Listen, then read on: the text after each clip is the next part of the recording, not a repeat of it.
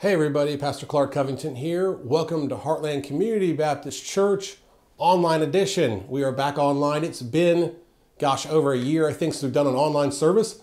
But out of an abundance of caution, we are having an online service today to be safe because we have a physical church building and it is small. And so we don't want to spread any virus uh, around there. And so, just out of abundance of caution, we're doing an online service is a little bit condensed. Uh, we don't have singing today, just some announcements, prayer requests, and then we'll go into the preaching, which I'll put into three parts to make it easy to watch and a little bit easier to edit. But again, thank you for joining me. Maybe you haven't uh, been to church lately. This is a great time to reconnect. Uh, good to see you. At least I can see the camera, but I'll just pretend I'm seeing you. So good to see you. And uh, we're really happy to uh, have you here today. Just a few announcements for our church. October 16th, that'd be a week from yesterday. Uh, Lord willing, we'll be going to the Red Wolf Farm Corn Maze, and we'll meet at the church at 11 a.m. Lord willing, if uh, everything has cleared up with the virus. Um, that Sunday night, uh, which would be 1017, we have a practice singing and video setup. And so, what that'll be, as we've talked about, is we're going to practice a bunch of uh, songs on Sunday night and we're going to set up to film those songs for the internet. Amen. So that'll be a practice singing and video setup next Sunday night. Again, Lord willing. If there's a continuous outbreak or there is a danger there, what we can do is just bump it up another week. Uh, and then the 14th, which is unbelievably almost a month away. It was, I think we started announcing this, it was two months away. Uh, we are going to have a video service uh, with singing and preaching. That's Sunday, the 14th. We're going to record that to put that online, and we're going to be doing some extra songs there on the 14th. Uh, so that's uh, really exciting there. And be praying about our holiday uh, giving program. We always uh, try to do something at the holidays to be a blessing to the community. It's a great opportunity to reach people. So be praying about that, and we are going to settle on that. We'll have a meeting about that in the next couple of weeks, how we can give to the community, what we can do. Last year, I, I thought the Lord really blessed, and uh, we've seen the ministries that, that were supported through that do great things. And so we can't wait, uh, at least I can't wait to get after it again. Okay, prayer requests. Be praying for our families. Be praying for my family, the Cruz family, Caleb's family. Uh, be praying for a postal worker friend of mine who had injuries from a car wreck. Uh, she's healed up, but I, I, believe she still needs prayer. Amen. I'll be praying for Mike Rice, brother Mike Rice, uh, at Midview Baptist Church, and that the Lord hears uh, heals him completely. Uh, be praying for Peggy and her family and all of those uh, that are dealing with her recovery. Help them, bless them, and let her get healed up. Uh, be praying for Frances too and, and, her family. Be praying for the church, the ministries, uh, the community, the country, the nation, and be praying for just us to be used in some way to win souls to Christ. That's always our prayer request that we kind of end it with. Uh, and I'll go, Lord, in prayer, and then we will jump into the message. Dear Lord, thank you for this day. Thank you for anyone that may be watching online. We love you here today, Lord, and we just praise you for the opportunity to worship you, whether it be virtually or in person. We ask you now, Lord, for the next little bit to be with the preaching, Lord, by the working of the Holy Spirit, Lord uh, just work the right heart in your people to have them know what you'd have them to know about this message, about this scripture we're going to go over, Lord. We love you, we praise you, and above all else, we ask you, Lord, to save those that are lost before it's eternally too late. In Jesus' name, amen. All right, guys, today we are going to talk about the idea of is anything too hard for God? And it may not be what you think it would be. It may not mean what you think it would mean.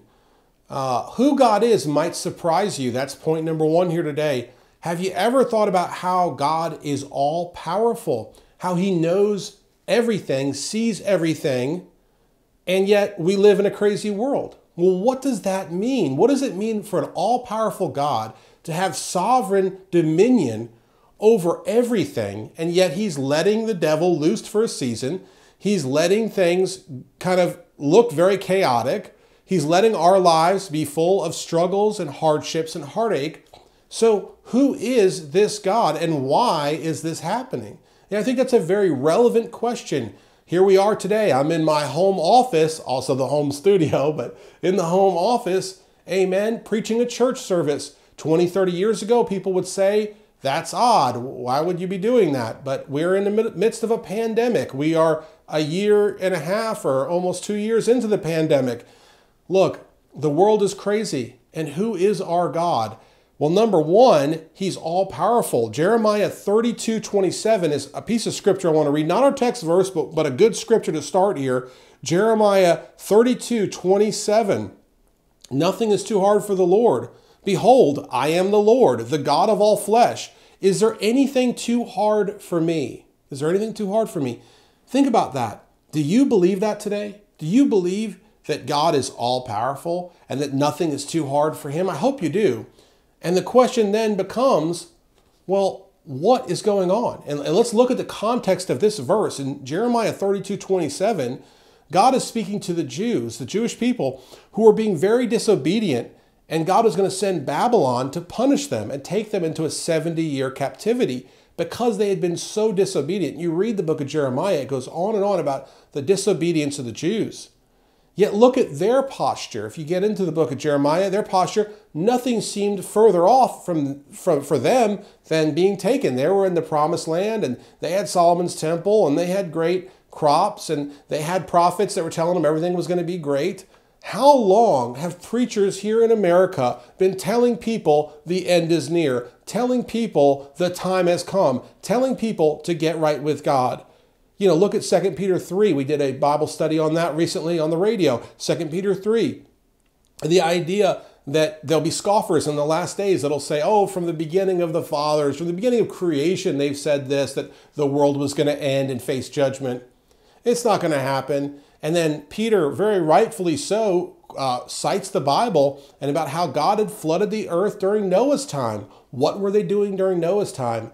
They were building and buying and selling and giving themselves over to marriage. Does that not sound like today? You know, we have all of this judgment in our land, all of these problems in our land, and yet people are just acting like nothing is happening, like everything will be okay, like science would solve their problems. Only Jesus Christ can solve our problems. Amen.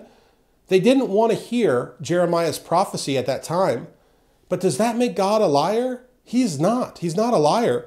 In court, if you don't want to hear what the judge tells you, uh, does that make the judge incorrect? If you cover your ears and say, I don't want to hear you, judge, does that make the judge incorrect? No. What does that do? That means you're still going to face punishment. You just don't want to hear it. Is that not what's happening today uh, with people today in this country and around the world, they don't want to hear what God's men and women are teaching and preaching about the truth that Jesus Christ is the only way to salvation. Amen.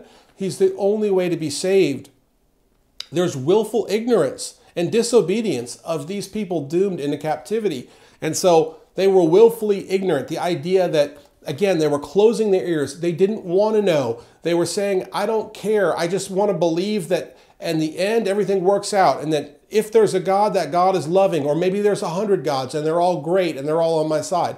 But the truth is, there's one God and He's all powerful. And so, what I think you're kind of maybe grabbing a hold of, maybe the idea that I'm getting at, that if God's all powerful and we are living in an age where we just, where things are just seem to be falling apart at the seams, where there's shortages of coins and of chicken. There's shortages of chicken wings. That's a big deal. And I don't mean to make light of the situation, but there's shortages of all kinds of things. There's laws being enacted daily about uh, what you need. You might need to have proof of this or that to go here or there. We are living in the last days, and God's allowed it for a reason because He can do what He pleases. And as He allowed the Babylonians to punish His own people, He is allowing our society to cripple and fall, even on those that love the Lord, because the time has come. The time has come for us to repent, for us to humble ourselves, uh, to seek His face, and to call His name. We should fear God and we should trust Him, because that's what this comes down to, doesn't it? There's not a healthy fear of God. Anyone in our church that's hearing me preach this knows I sound like a broken record, that we need to fear God. We need to humble ourselves. We need to get in the book. Well, repetition's important, and uh, I can't say it enough that the Lord Jesus Christ is coming again soon. But do you fear him today? Because think about this if you say, I don't believe he's all powerful, then you obviously don't know him and you certainly don't fear him. Or if you say, I believe he's all powerful, but I don't want to get to know him or I don't want to think about it, I want to be ignorant, then you don't fear him, right? The only way to fear him is to acknowledge he is who he says he is. And if he says he's all powerful, if nothing's too hard for him, and the world we live in today is the world we live in today, then we have to seek his face. We have to turn to him with all our heart. We have to appeal to a living God. Amen. In these last days. And I'm going to get to why we're here in a minute. But I want to give some examples about how God's all powerful. He created humanity in six days, all of humanity, all of the world in six days. And on the seventh, he rested for emphasis. He didn't need to rest, but he did. Well, what does that mean? That means if God can create the world in six days, he could have created it in a second. He could have created it in a year. He just chose the number seven to represent completion and all of this. And he helped us understand what he created. And he helped us use the Genesis account to fight back against things like evolution and all these devilish concepts that come into the world today. But if God can do that, could He not heal our land? Could He not just make a thought? Could He not just think a thought and do it? You know, we recently taught about the centurion and how uh, the centurion's servant was ill, and he, he told uh, those uh, to go see Jesus and say, Hey, look, Jesus, I'm not worthy that you come into my house. I'm not even worthy that you come into my presence. But just speak it, just think it, and my servant will be healed. Is that how we look at God? Is that how we reference God? If we were to reverence God that way, maybe He would heal our land. Are we praying that He heals our land? We should be. He created humanity in six days. He sent His Son to die on the cross for our sins, and we're going to get to that in a minute. And He kept a broken world from spinning off into chaos. Have you ever thought about that? Look at what God's done for you. He's given you shelter, He's given you uh, work, He's given you um, hot water. He's giving you a car. He's giving you gas in the car. He's giving you food to eat. I mean, if you look at the way that God is in the details and how much He has blessed you, I mean, look, if we just get um, an extra order of fries at the drive-through, and I love the drive-through. If we get an extra order of fries, that's God just blessing us. Okay. If we get a, you know, we'll tell them, hey, you gave us extra fries, and they say they can't take it back. Oh well, that's our our uh, reward. But I know it's a silly example, but anything, if you think about how your car should have broken down but it still runs, how you should have had to go to the doctor and you haven't, how, how you got that uh, check in the mail right when you needed it. If you think of what God's done for you, I want you to think about this for a minute. Think about 7.7 billion people. That is, is, is who God has been working to help and to turn to Him. 7.7 billion people, the population of the world. God's all powerful. And again, I make this argument to, to show you that God is sovereign, He's holy, and His judgment is coming to the world. Now, on to part two. Thank you again for sticking with us here on part two. What is part two? What God calls us to do. So, I've made the argument that we are living in a broken, chaotic world that's only getting worse, not getting better. And now I've also made the argument that God is sovereign and so the question then begs what does God want us to do? Why are we here? What does He want us to do while we're here? What is the purpose of this life? We are to live for God, to bring joy to Him, to glorify Him. And that comes through a person, one person alone, and that is Jesus Christ. Uh, John 12, 32, uh, in, in my Bible here, uh, I'll read that. John 12, 32. And if I be lifted up from the earth, will draw all men unto me. And so this is Jesus speaking, the red letter text, saying that if I be lifted up, well, when was he lifted up? He was lifted up on the cross. He will draw all men unto him. Look, this is our purpose for being here, is to understand that Jesus Christ was lifted up on that cross, died for our sins. He paid our sin debt. What does that mean? That means that he was crucified on the cross. You know, the word excruciating literally means crucifixion uh, in, in the language. He died for us on the cross, he died for our sins. We had a sin debt that could not be paid on our own. The Bible says that our good works, they're like uh, dirty gauze pads, they're like dirty rags. Our righteousness is as dirty rags and uh, our righteousness is all of it okay? Nothing is excluded from that. And so how are we saved? How do we gain favor with god? Why are we left here? Number one most importantly to accept jesus christ as savior which is a free gift. That's something that god gives us. Jesus already died on the cross was buried three days rose again uh, was resurrected by god miraculously walked the earth for 40 days and 40 nights, and ascended up to heaven and is with the Father today at the right hand of the Father. He is all that we need. He has done all that we need him to do. And so when we accept Jesus Christ as Savior, and that idea is simply just accepting what he did for us, just saying, I believe, I accept him as Savior, I will make him Lord of my life. I, I believe in God, and God is higher than me, so I'll make him Lord of my life. When we do that, when we accept him in our hearts, when we believe in Jesus Christ dying on the cross, then we're saved. Amen. We're saved. That's the gospel message.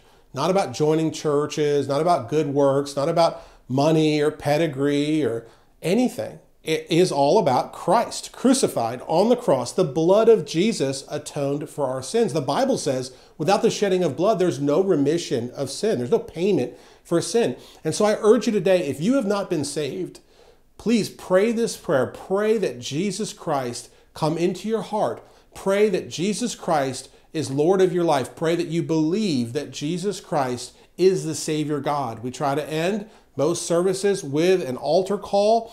Um, and, and, you know, we don't always do it in our, our, small little church with the same members, but even my own children, my youngest children, they're getting old enough now uh, to, to maybe understand that they're sinners. They got a lot of sin in them, if you know my kids. I love my kids, but they're wild. Uh, but we, we try to, even the kids, because it's so simple, even a child can understand that Jesus Christ died for our sins. And so, number one, the reason we're here in this crazy old world when God is all powerful and can do anything he wants, the reason we're here is to accept Jesus as Savior, to accept his free gift of salvation. Uh, you can go down Romans Road. That's a, a, way, way we often do it, is go through Romans Road, where the scripture in the book of Romans that the Apostle Paul wrote outlines the, the plan of salvation. And I believe it's uh, 1 Corinthians 15, 1 through 4, gives the entire, entire gospel account as well. And so we go through scripture, we learn who Jesus is, what he did for us, we accept his free gift of salvation, we're saved, amen. Then you know what happens? Our name is written down in the Lamb's book of life. Our Father in heaven is happy. I heard great preaching on this the other day. The idea that we always quote the verse there's angels rejoicing over one lost sinner that comes to repentance, that comes to being saved. But it, it was the, angel, uh, the angels in the presence of angels rejoicing, or something like this, which means that God is the one rejoicing. You want to make God happy? You want to fulfill God's purpose for your life? Accept Jesus Christ as Savior.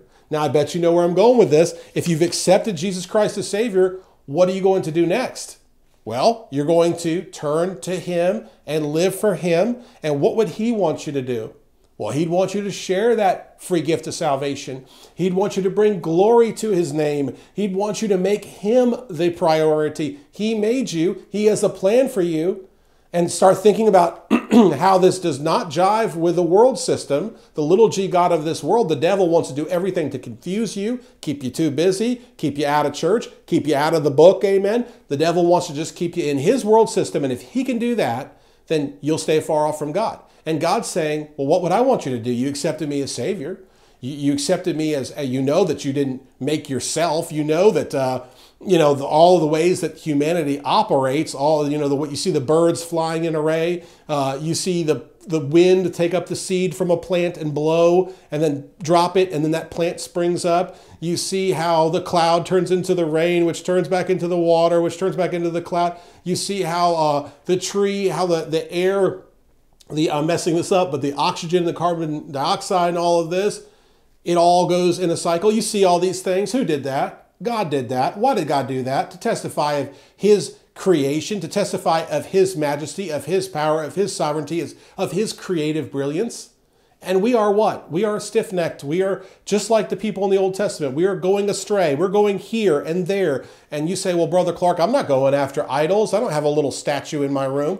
Well, what do you value most? Where is your heart at? Where your heart at, where your heart is, that's where your treasure is, the Bible says. Is your heart for the things of God? Is your heart for being saved and then winning souls to Jesus? Now, I, as the preacher, can only tell you about salvation, Jesus Christ, the, by the working of the Holy Spirit, does the saving. I will never take credit for anyone to be saved. I'll simply try to plant that seed and lead them to the Lord. And the Lord will convict you. That's that funny feeling that you might feel here today. The Lord will convict you. And I beg you, friend, to pray and ask Him to save you, for it's eternally too late. And if you're saved, get off your bottom rear end, get off your butt, uh, and win souls. Amen. You say, oh, how can you win souls? If you can't go knock on a door anymore, you can send a gospel tract. You can testify. You got social media. Go onto that, those platforms and write a story about what Jesus Christ has done in your life. Don't be ashamed. The Bible says if you're ashamed of him, he'll be ashamed of you. Don't be ashamed. Amen. Going back to our text verse here, John 12, 32. If I be lifted up from the earth, will draw all men unto me. Jesus foretold his crucifixion before the Passover to the people in this verse. He showed people he came to do the Father's will. He was obedient. We should mirror that. His words are God's words. He lets people know this must happen as had been uh, prophesied and is foretold that some would believe and many wouldn't. But he was lifted up on the cross for you. He died for you. And that's such a beautiful, beautiful thing. And it was so painful and so hard for, for anyone to endure. And he, he prayed and said, Lord, just let this cup pass from me if it be your will, but if not, let your will be done. That's a really difficult prayer to make when you are about to be crucified and tortured and have a death worse than any death that was ever uh, in mankind, of mankind. And what do we do with this? You say, well, that's, that, that, that grieves me and I'm saved. And now, now what do I do? Well, let me tell you what you do. The tool we use to deepen our faith and share our faith is this book, the Bible. Amen. The Bible, the King James Bible. We use this Bible to win souls. We use this Bible to edify and to learn. Uh, some scripture on that. Uh, I can't say the Bible is how we use a tool for God and we, there's no scripture. Uh, number one, Romans 10 17. So then faith cometh by hearing, and hearing by the word of God. Faith cometh by hearing. How do you hear? By the word of God, right? That's where the faith comes from. That's how you deepen your faith is by Romans 10 17. And the Bible guides us in life. Psalm 119, 105. Thy word, thy word, thy word is a lamp unto my feet and a light unto my path. And then the word is Jesus. John 1:14 and the word was made flesh and dwelt among us and we beheld his glory, the glory as of the only begotten of the Father, full of grace and truth. The Word became flesh. You know, the Word is synonymous with Jesus Christ. Amen. In the end of the world, when Jesus comes back to avenge all the wicked ones that were coming to destroy God's people in the Battle of Armageddon. You could read about it in Revelation 19. It's fascinating. When Jesus comes back, he's on that white horse. He's got angels with him. He's, they're on white horses, amen. He's got all these people with him. And how does he wipe out all of these evil forces of all humanity? How does he wipe it out? With the word. It's a sword that is the word. So, our prescription for deepening our faith and becoming on fire for God is getting in the living word, to study it, to apply it, and to look to share it. We must be saved before it's eternally too late. I hope I made clear how to be saved. We must share the word before it's eternally too late. And we must do this now as a top priority. All right, almost done. On to point number three. Part three here today sharing Jesus in a broken world. Look, why are we here? What are we doing here? We are here to share Jesus Christ with this broken and lost world. That's why we're here. That should be our priority. Our text verse states, If he be lifted up, he will draw all men unto him. Well, are we lifting him up today? What does that mean to lift Jesus up? I mean, specifically, he was speaking of the cross, right? But figuratively, here in today, in 2021 and 2022 and 2023 and beyond, if the Lord tarries, how do we lift Jesus Christ up? Well, what we have to do is be witnesses for him. And people think, well, I'm not a Bible scholar. I've got a full time job. I'm in school all the time. Hey, God is calling everyday, average, ordinary people Look at who were his disciples. Amen. They were everyday, ordinary people. Uh, they were fishermen. They were tax collectors. Uh, yeah, there was a doctor in there, and and uh, but there was a lot of ordinary folks in there. And what we see is the Lord is calling you uh, where you are not just the preacher, not just the Bible teacher, and not just the, the those that we classified as uh, fundamentalists or whatever you want to call them. Um, we all should be fundamentalists. We all should believe in the tenets and the Word of God is fully true. Uh, but He's calling everyone to be a witness for Him, to lift His name up, and He'll draw all men unto me, unto Him. Uh, that's what He's saying. He'll draw all men unto Himself. Amen. So what do we do here? we share the good news. Now, you can do that through a testimony. You could do that through um, telling others about Jesus. Uh, you could do that through sharing scripture. You can do that through going into the ministry and showing Christ's love and, and, and showing great generosity and loving the brothers and sisters. You can do that through prayer. We all should be praying. Uh, but the idea is that sinners need Christ, and who will tell them? Who will go? Who will stand in the gap? That's why the Bible says that the harvest is plentiful, but the laborers are few. There's very few people that want to do this. And the question is why? Why is it? You find people that want to jump out of an airplane. You find people that want to climb up a mountain. You find people that want to race a car. I saw a video uh, a month ago or so about somebody racing. There was a car. It was like a it was like a dirt track, but it was a car with an RV attached, and they would go in a figure eight, and the idea was all these cars would eventually collide. That is insane. And people were laughing and stuff, but that you're risking your life. They'll do all that. But you say, hey, could you go tell this person about Jesus? Hey, could you be a witness to this person? Hey, would you go ahead and uh, not go and be involved in this sinful thing or that sinful thing because it's a poor witness for Christ? People say, oh, are you kidding me? Are you crazy? Why? Because the world is broken and we're swimming upstream doing that. And it's very difficult to do that. But we, that's, you know, everybody's looking for the secret to happiness, the secret to uh, fulfillment, the secret to joy. That is joy. Joy is in Jesus, it's in sharing Jesus. Pure joy is when you see a soul that was lost and headed for hell that's won to Christ, that will be in eternity with Christ because you helped do that. God is all powerful. He has allowed us he has given us the opportunity to go serve. It is not something that we can do on our own. It's not something that He needs us to do. He has chosen to allow us to do it. And you say, why, Brother Clark? Why is He going to allow us to do that? Well, there's rewards in heaven for those that serve the Lord. We read about the idea that, that uh, at the Bema seat, which is uh, called the judgment seat, but the idea is a reward for those that have been saved, for those whose name is in the Lamb's book of life, for those that have accepted Jesus' free gift of salvation.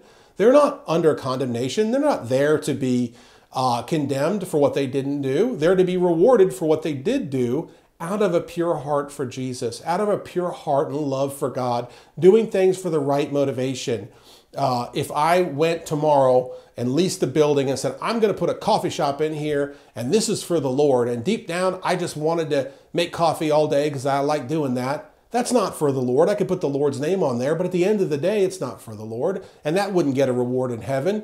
But let's say I went down the street and I saw some kids and they had a ratty old jacket, and I went back and I found a jacket and I gave them the jacket and I didn't tell a soul and I didn't put it on social media and I didn't brag about it and no one knew about it but God. And when I gave that jacket, I said, I give this to you in Jesus' name. That's rewarded, I believe. God, only God knows, but that's rewarded. So we are to live for Christ, not, not because we have to, but because we should want to. Not because we're obliged to, but because we love the Lord and we should be serving Him.